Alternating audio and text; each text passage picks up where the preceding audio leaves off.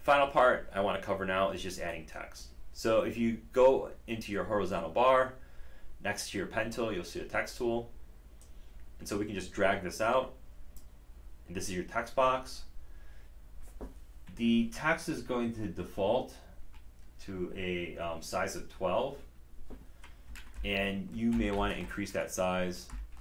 So you can type some text in here, hit Control A to select it, and then go into the right horizontal, I'm sorry, the right vertical bar and change the size. You know, you can make it a little bit bigger. Let's say make it 72, you know, it's bigger. I'll actually make it, um, let's see, half that, so 36. And what I want you to do is start to add some information here to make it understandable about what this is. So I will, you know, give this a title. Um,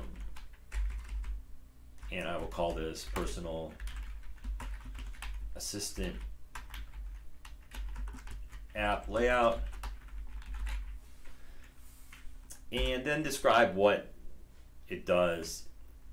And maybe you want to use a smaller font size for that. So I'll change this to 20.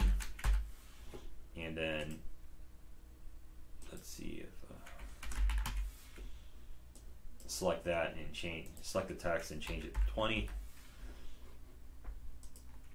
this app is to help people and let's say I know I like to draw so I'm going to create an app that helps people how to draw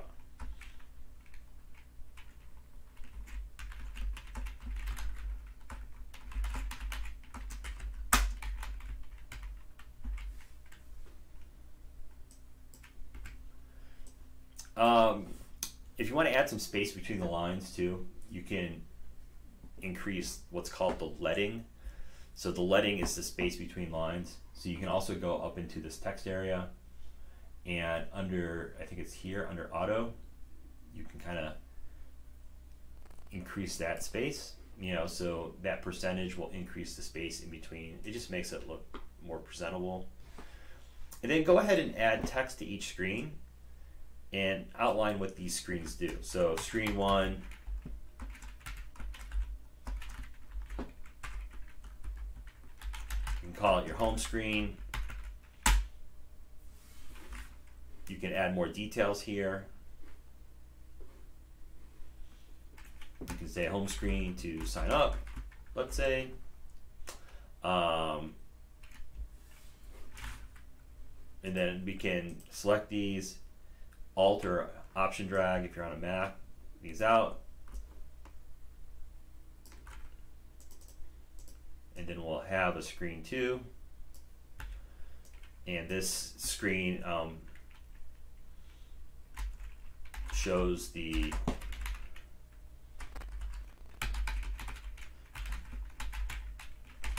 you know shows different tutorials